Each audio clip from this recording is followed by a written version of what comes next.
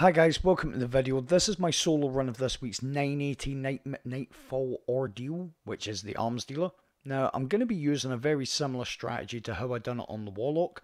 Uh, not a lot's really going to change, maybe a little bit more efficient, but roughly the same run. Uh, I'm doing it on the Titan, uh, top tree defender, which gives me weapons of light. So I'm coupling that with the Helm of Saint 14.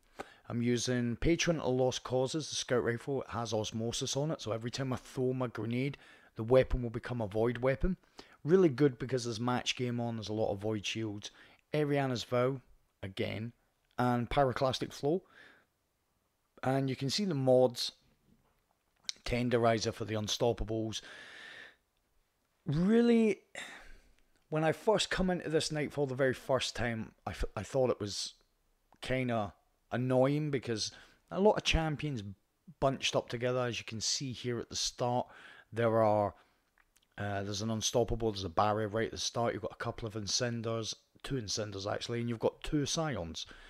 So what we're gonna do now? I wish I could have went back and not thrown that grenade because now I have to wait. I don't have to wait very long, but I have to wait to get another grenade. So what what we're gonna do is just kill a bit of time like that's the only reason we're doing it, is to take out this unstoppable. So what I kind of do, because as you know, unstoppable rounds, they can't be shot too close together, so you've got to wait for the next one to proc. Because I have Eriana's Catalyst, the audio cue to tell me that Eriana has reloaded is what I use uh, to tell me. Basically, I use that as a barometer for when I can recharge my unstoppable shot. So what I do is fire unstoppable shot, put four, five, six rounds of Eriana into the crit point, then I store Eriana, and when I get that audio cue, then I fire the unstoppable shot again. So just come up here, wait for the grenade again. The one grenade should take out one of those incenders, and now you've got a void weapon. You can take out the, the other incender. So what we're doing here, as you can see, we just put a couple of shots on, and then I'm going to fire a rocket now. Just for edification's sake, I would suggest right from the start, if you do have the catalyst, when you break the shield, store your Eriana straight away and fire the rocket and then reload it. And that'll give your Eriana a chance to reload because sometimes I've noticed that unstoppables, barriers, whatever, they don't take the same amount of damage every time. And sometimes they get a health regeneration uh, just just immediately as they put their, their shield up. So just be aware of that. It's always good to have another, you know, six or nine shots to take down the the unstall the, the the champion. So I came straight out and put a rocket on the ship because solar damage is increased in this nightfall and aerial damage is increased. Now I know it's aerial damage from guardians, but it seems like they do more damage when they're in the air as well. So and also as you can see, attrition is on. So we're looking for those little health bubbles. You can see one just to the left there. You can do a lot of work from up here. In fact, most of it. As you can, you might have just seen there from that solar pack that there is an unstoppable down there. There also is, and you'll see it there. I should have dealt with him right there and then. Over on the left-hand platform from where we're looking now, over there where I'm aiming, there are some scions. You need to get rid of them because they kind of impair your ability to attack ads because they're going to do a lot of damage because it's solar. So now, now, now that we've attracted the attention of the unstoppable, you'll see exactly what I mean here. The minute I actually start to get intimate with the with the unstoppable, that that sniper comes back out. Now what?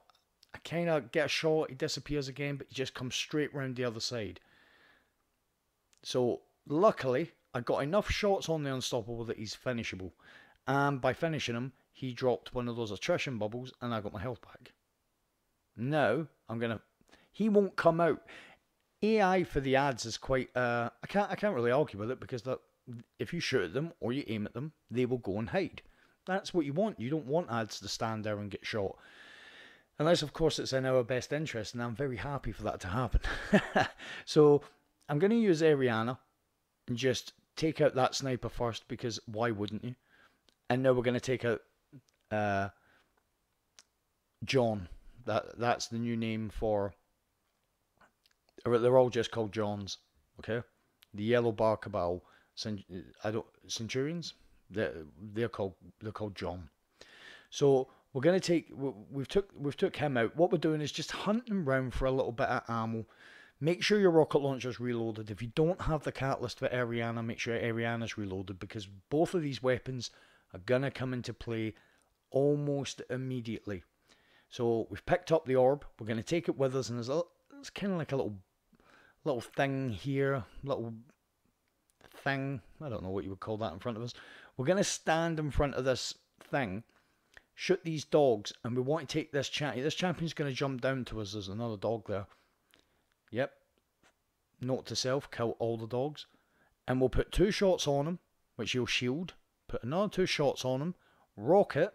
Now, I would suggest, as I said before, holding on to your rocket just a touch longer, just to make sure it reloads the Eriana. But again, it, it it's no big deal if if if you don't have the catalyst, just reload Eriana while he's while he's like that, so that you've got another two shots, take his shield down, and forty finish.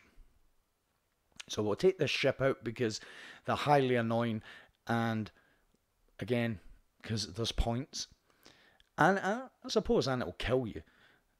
Now what we're going to do is pick up this charge. We're going to move and we're going to go up the ramp past the champion. You, the barrier champions for the Cabal are the, the I mean, all the champions are pretty horrid, but they've got like multiple attacks. They really, they really are. They're that person that you invite to the party that when they get there, they're like, oh, I knew I shouldn't have invited them. They're just so obnoxious. So what's going to happen here, and you'll hopefully this won't happen, but he's firing that horrible shot at me. Rocket hold on to the rocket. I didn't hold on enough, but the rocket done good damage. So we took him down. We're going to go down here and we're going to slam. There are a lot of, I say a lot, there are a fair amount of dogs down here, I would say. Uh, another eight, maybe six or eight, more than six, I think. But because I've got top tree defender class on, uh, I know I've got defensive strike, so I can pretty much uh, 101 Titan School my way out of this. Punch, you get a punch, you get a punch, you get a punch, you get two punches, you might get two punches. Oh, more? Okay. I'll miss a punch just to show you I mean business. I'll come back up. Now I'm going to shoot, and you're lucky I didn't have to punch you. Again, I'm going to get another champion round here. You're also going to get a host of Johns and Steves. Phalanxes are now called Steve. Again, charge up the shot.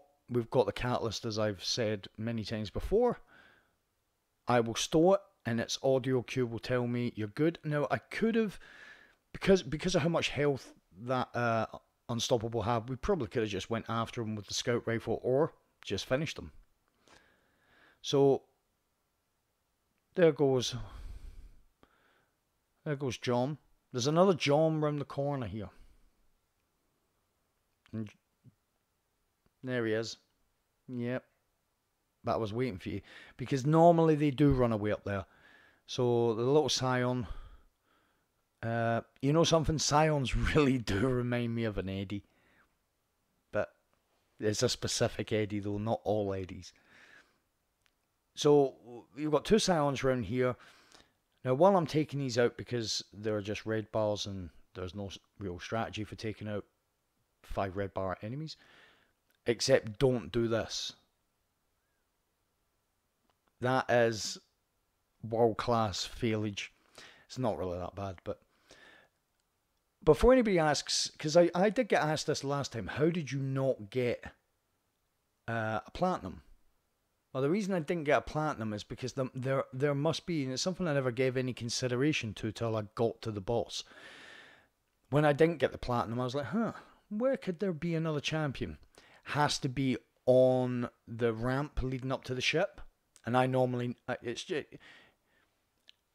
you. I probably could have took it if there was a champion up there. I probably could have took him from where I actually enter onto the ramp, which is at the top of the ramp but I never thought about it because, you know, I was going to get the 100k, I was going to get the, the completion, but that's where any champions I didn't take will be over there on that part leading up to this part, on that ramp. I always take this way because even when it was a nightfall, the amount of times I thought I was home and dry that I entered onto this ramp and just Sparrow got shot or I got shot. So that's where the other champion to hit platinum must be. But we're we're doing good time, nine just over nine and a half minutes, fifty four thousand. We're gonna hit the hundred k, no problem. So we've got two tanks in here. One is free roaming when we get in here. So as you can see, the rocket, the first rocket done decent damage. Second rocket does big damage. And the reason it done big damage is why cluster rockets are kind of kind of really really good for these kind of these these uh, tanks because the cluster hits the four crit points and if it hits them really well because the, it's the kind of unpredictable nature I suppose of of uh, of clusters if it hits them really well two two or three rockets can take out a tank no problem so it's kind of uh, like I say, the unpredictable nature of clusters. You know, sometimes they are going to hit where you want them to hit, sometimes they won't. So there's our first champion. There's actually six champions in this room. So what we're going to do, stop the unstoppable and fire a rocket, which should take out a few of the ads that are around the unstoppable. It only took out a couple, but a couple's better than none at all. So the osmosis that's on the scout rifle does not it doesn't require you to actually hit anything, just the act of throwing a grenade. So I threw a grenade eh, two minutes ago, missed everything. Literally, I was more interested in just getting the grenade off than actually killing anything because then I, I, I got the osmosis procced. So now what we're going to do is we're going to we took out the unstoppable, we've took this tank out. The other tank won't come until we access the two the, the two consoles. But we've got two more champions and all these ads. Now, taking out the champions is important, but the first step is do not let it's not worth letting any of these ads survive. You want just you and the two champions. And as you'll see, once you start thinning the ranks, these boys are going to want to hightail it back to the champion. You know? Don't let any of them get. up. It's not don't let any of them get up there. Don't let any of them stay up there when you're attacking the champions or even before you go to attack the champions. Because they can kind of mess your whole routine up. Because what you want to do is exactly the same as at the, the room where the lift is just before the boss. You want to separate these champions. You don't want them. A, you don't want them to be aiming at you when you get into position. And B, you don't want them to shield each other. But if any of these ads stay alive and then you get into your position where you're trying to be all stealth and stuff, like here, you'll see exactly what I mean here. So I'm going to jump over and I notice, get shot from behind because there was one more. I have now killed that ad. The two champions know where I am now. So my stealth mission is, has failed. Luckily, they were already separated, so I got hit really hard. Titan bubble. Helm of Saint 14 gives me an overshield. And now it's one hit to put him into his shield and almost one hit to take him out. Rocket does massive and then he's dead. So now I've only got one, but just for edification's sake, it's worthwhile not relying on all those things happening. Make sure all the, the little red bar cabal are down. As you can see, I pushed up there. Now, the reason why I pushed up is because normally these champions go into cover to put their, sh- their shield up. It's the most annoying. They'll get into cover where you can't fire at them. They'll put their shield up, and by the time you get to them, they've got full health. Now, running out of ammunition here. It doesn't look like it now, but when we get to the chat, because now we're gonna we're gonna get this tank. We're gonna activate this top console first. Then we're gonna activate the console at the bottom. The reason why is because we're going to attack from here. We don't really, it doesn't really matter in what order you activate them in, but the fact that we're doing our DPS from down here is worth doing the top one when you're up there and coming down here to do this one. So once we take this tank, and you're going to see how I'm taking the tank out, I'll speak a little bit more about what, how why I'm doing this with the tank. We're going to get some unstoppables before we attack the ads that were up with the tank. Now, what I'm doing is, obviously, Guardians do more damage in the air, and you've seen that second rocket. But what I'm trying to do, why I'm moving left to right, is, is obviously the tank has got me pinned, knows where I am. But there's a point where the tank doesn't lock onto you anymore. So he locks onto your previous position and then he will fire at the last position he's seen you at. He won't recorrect his aim. So you can stay in the one place, get two shots, and then move, and he'll fire where you were. He, he, he won't track you. There's a lot of enemies in this game that lead, lead, lead their shots. So to lead your shot basically means when you move, they fire to where you're going to land or where you're going to run, where where you they think you will be when that shot gets to you. The rockets, the the tanks don't do that. It's almost, you know, it's almost like their their their aiming system suffer from lag. They're like, he was there. Why is he over here now? It's because I started moving when you locked on. What's going to happen here is actually good training for the boss. So I'm I'm I'm literally almost out of ammunition. I'm going to have one special by the time I, I fight the last Unstoppable. So the, what, what happened with the Unstoppable is they kind of mess about up here. And when you kill the first one, if there's anyone, if there's any of them near it, then they will now push you. But the, the Unstoppables won't push you if you stay at the bottom of the ramp. So I took out the first one, which done a bit of damage to the second one, then stopped the second one over two small damage phases, two attacks, managed to kill it. The third one never came at me until I got up to the ramp because I was far enough away when I killed the second one that I wasn't an immediate threat to the third one. But then I had no ammo. So what I'm doing, as you can see, I, I kind of got him to jump down. When he jumped down, uh, I came up the ramp. You know, I'm I'm kind of kind of playing musical chairs with him. That is what we're going to do with the boss. You can control these champions and these bosses just from simple movement patterns. And that's the movement pattern that I chose for that unstoppable because I didn't have the ammunition to go ham. Luckily, he dropped quite a bit of ammo for me, so this ye- this yellow bar doesn't really really pose much of a threat as you can see. And now we're going to get a heap of dogs. What we're going to do is put one of these these uh, magnetic grenades right in the center of them. The first one thing about the magnetic grenades, just in case people aren't aware of it, and I'm sure everybody is, but I'm I'm sure you'll appreciate the fact I'm going to cover this base. The initial explosion does a heap of damage, but it om- it's almost like it tags any enemy that gets affected, even touched by the first explosion, is now tagged. The second explosion is like they all get their own first explosion. That's why the first explosion never killed everything killed maybe one or two, and the second one seemed to kill everything. Because anything that was even on the peripheral, even on the edge of that explosion, now takes the full force of the second explosion. They all get their own explosions. It's really cool. So it's such an underused grenade, but the, the magnetic grenade's very good. So, in this room, we have three champions, one unstoppable, two barrier. The unstoppable is there. So what we're going to do is we're going to do a bit of damage to him, as much as we can.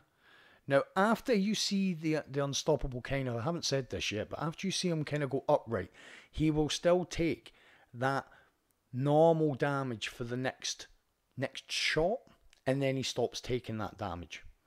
So as you can see, we stopped him again using the same uh, same routine. Wait for the the Eriana to reload. Now you've got some elite phalanxes one there and one round to the right. And there's one of the champion, the barriers. Now they won't really, uh, they won't engage. They might speculative, by the looks of things, two rockets. Is that what I'm worth? So we'll take out these guys. Now, as I as I've tried, uh, the way you the way you approach every area is literally the difference. If you approach an area in a certain way, you might you might you might think it's dead easy, really easy. So when you come in the next time to do it and you approach it from a different area or a different angle, you might start wondering why it's so difficult. It was the actual angle you approached from and attacked from the first time that made it so easy. The reason I got the boss to move was because I killed his turrets. When you kill his turrets, and sometimes the Cabal, the things that are up on the platform with him, when you kill them, he will leave. It's worthwhile not having the boss there, you see? Boss is gone. Now, it, that works on this platform above us. You kill his turrets, you kill his cabal, and he leaves. But because I killed one of his turrets on the second one, he, he left. Now I've got two champions. So this is the ideal scenario. As you want to separate them. One will go right, one will go left. Now you see what I done there? That's exactly what I've been saying. I reloaded my rocket launcher, which gave my Eriana a chance to reload. So now we want Big Boy to go up the same side, except he's now going to shoot at me and it gets hairy.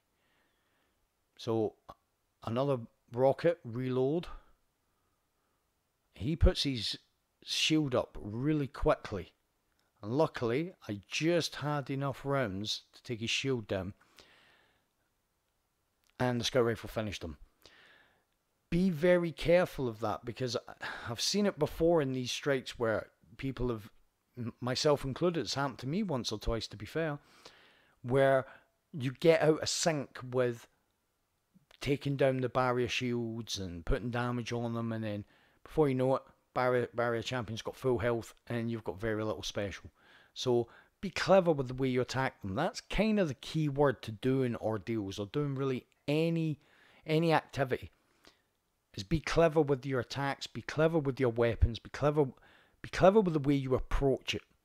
So it's it's worthwhile to break break a shield and stop a barrier champion getting his health back and then just taking the rest of the time to reload your weapon than it is to waste four or five shots trying to get them a little bit lower only for them to you have to reload at the same time they need to put a shield up. So now as you can see here I fired at those enemies and it's like there was an invisible barrier up, and I don't know if it's because I was shooting into the corner and just at the wrong place, and the game still recognised that that was a shield, that I was hitting the barrier, you know, that kind of head glitchy thing that happens sometimes. So I'm going to have a little look around because I need to have full rocket, but what I'm going to do is I'm going to do the old chain thing. I'm going to jump up the chain, which activates the boss after the after the Cabal drop pod comes in and we get onto the get onto the lift. The boss is going to be at the top of the shaft the whole time. Now, the rockets aren't going to do the damage they used to do in year one and two, but it's going to be enough to put him into his first incubation state. So the boss has two incubation states where he is almost incapacitated by his own mechanics. He'll be up in the tower with a with a bubble over him and he won't be sniping you. That is exactly what you want. You want him to go straight into those states without being because if he's up there sniping you, it's a bad day. It's kind of hard, harder to get shots on him with you know rocket launcher, scout rifle because scout rifle has limited range. Rocket launcher you can dodge. You just don't want to have to put up with that. So how to do this is jump up the chain to the last kind of this section, the last dirty section. Go down, activate lift, drop pod will come in, kill the, the Cabal, and then when you get onto the lift, he'll be there. Hopefully we'll drop some heavy ammo. Spoiler alert, I do get a brick of heavy ammo. And while I'm doing this, I've explained what's happening here. I will just make a quick apology for my voice. I don't expect any sympathy, but I'm not well, guys. oh, I'm fine. Just my throat's gone on holiday for some reason. So I'm going to put this uh, weapons bubble down as well. Now, now although the, the lift is going to go take us away from it, weapons light lasts for 15 seconds, 20 seconds, whatever it is. Enough time to get a couple of rockets onto him. And we get those at weapons of light values. Now, I do miss the last rocket here. Miss is a strong word. I don't miss it. It because of where he goes, it tracks. It actually tracks the the turret. So the turret got the full force of a rocket, which was kind of wasted. but we'd done enough damage to put him into his first incubation state. Soon as this happens, as you've seen, I took out down all the turrets. I didn't have to because I'm going to be moving miles away from the turrets. I'm just going to move down to this area here. The ads will follow me, but sometimes distance is safety. So now I can I can lead the ads a merry dance. We've got the ship coming in. Take the ship out because those rockets hurt. And then when the ads do push up, they'll push up up here. You don't want to be around here. The worst thing you can do as as a player fighting anybody, fighting any set of ads, the worst situation to be in is when the ads have the higher ground. So we're just going to change the angle of their attack so that they don't really have the higher ground. They, they are higher, but the angle has been reduced. So now it seems like they don't have really the higher ground. We're in a much better position to attack them. Always try and take out the Centurion. And I'm so glad that I actually looked there because I call these guys Centurions and they're not the Legionaries. Legionaries. So now we know that. I've only been playing the game for five years. Uh, so take out these ads and then you can see on the screen there's an, there's an orb uh, quite quite well documented on screen that there's an orb there. We have to get that orb and we have to slam it, as I'm sure most of you are aware. Anybody that's not aware, that's how that is the point of the boss going up to these platforms. The boss goes up to platforms, the ads come out, and the only way to drop his platform and get him to come back down is to take this orb, whichever location the orb is in, the slam location will be in the opposite corner. So this is top right. When you turn round, you'll go top right. So you'll always get a drop pod come in. In the first wave, you'll get this uh, elite centu- elite legionary. You'll get normal legionaries, and it, but at at the slam, at the plate you slam on, there'll always be there'll always be two legionaries and a centurion. In the second wave, the drop pod will have a centurion in it as well. So an a elite legionary and a normal legionary. So we've brought the orb with us. Just use Eriana to deal with him, and we're hoping we're going to get some heavy. Spoiler alert, we do get some heavy. So just clear out these ads, go and slam.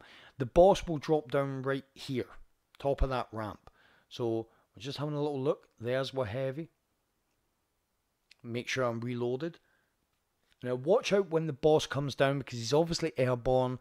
He obviously has a very powerful sniper. And I'm just going to try and put some shots on him as he's in the air. It can't hurt. Jump, fire. And just, we want to put these three rockets on him, making sure that we're avoiding the turrets. And we want to get him out of, into his second uh, incubation state. So we're just going to try and take out these two turrets here. And now we've got dogs. Now as you see he's gone straight up top. Which he will do because we put a fair amount of shots. And he's went straight into his second incubation state, which is good for us. Now you have a bubble. I've got Saint 14 on, which means anything that comes in here is blinded and they can all come in and bite me if they want. It's not happening and weapons will help us take take everything down a little bit easier.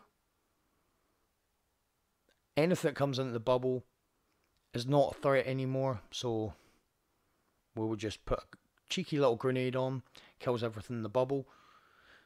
And now we've we've just got one normal ads to deal with. With we still got weapons of light here, which kind of makes everything a little bit more straightforward. This corner is where we're going to attack the boss to start with boss is going to come down here. Once once we take all these ads out, we're going to go and basically follow the same route we did last time. We'll go and you know pick up the pick up the orb. Drop pod will come. We'll kill the ads. Then we'll take the orb up to the top. Drop pod. And then the boss is going to come down. We're going to come back to this corner and we're going to use this corner to control the boss's movement. Because not only does he like to jump all over the place, but when he is jumping all over the place, He's also shooting with a very powerful shotgun. Feels like a shotgun. Feels like a shotgun I would like to use. Uh, and and yeah, so we, we can control his patterns of movement, making him much more much more the, the make, making the fight more predictable. But unlike when I done it on the Warlock, this time I am gonna have to move to the other side.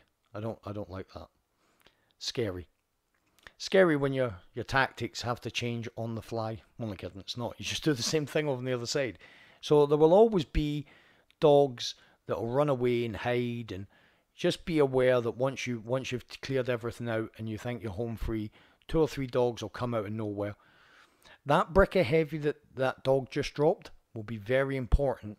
I will state right now that that will be the brick of heavy that kills the boss. So, poignant, pivotal moment of the strike here. So there's the drop pod come in. I've gone down the centre. We'll try and take out these ads as fast as possible. Specialist Centurion, we don't want him flying about making things difficult for us. And we'll take out these two. And then it's just the ads at the drop pod, at the slam point.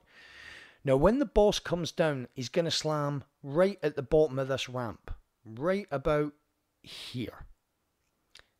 We're not going to be there because even though we've got full rockets, we are not can't do enough damage to kill him immediately. Now, if I'd have went weapons of light, put the weapons of light bubble down, maybe I could have. I just didn't want to take the chance because I didn't want. You can't call this a guide and then tell people how to kind of do it quickly and you know just just push them because not everybody's comfortable with doing that. This way works. Make it back down here. Let him do his thing. The other thing that's going to happen down here, which is why it's not a good idea to be running about out in the open, is we're going to get sniper psions. So I know he's coming over here. Weapons light bubble, psions. Not really too dangerous, but over the other side, put another rocket on him. Over the other side, there's going to be four, except there isn't going to be an elite psion. Put another rocket on him. That one, we only got 16,000. Now, something very kind of, something happens here that shows you best laid plans. You just have to roll with it sometimes. So he runs. I think he's gone. And then he comes back. He could quite easily have wiped me there. You have to wait for him to get to the bottom of the ramp, be coming up the ramp before you move. So I'm, as you can see, I'm waiting. I'm waiting. Minute I see him appear, I'm off to the other side because he re- there is this brick of heavy. I want this brick of heavy. And now I'm going to just try and I'm, I'm taking this way up here, dodging in between so that he hasn't got a clear line of sight. And then I remember there's some psions up here, and then I realise they're a red bar. No problem whatsoever. There's still two up. Now kill kill that one, and don't realise that there's another one until right now. So there was another one. I look, I couldn't even see it. And there he is. So now this is the last rocket to kill the boss. And there we go, guys. 980. I hope you've enjoyed the run. I hope it's. I hope you've learnt something from it. Uh, good luck with actually trying to do it yourselves. I'm sure that you guys are more than capable of doing it. Again, I can't thank you guys enough for supporting the supporting the content. People that come here week in, week out you don't know what it means to me. It's it's the reason why I do it. Apologies for my voice, but I didn't want to leave you guys without a video. Good luck on the runs. Thanks for watching, and I will see you guys in the next video.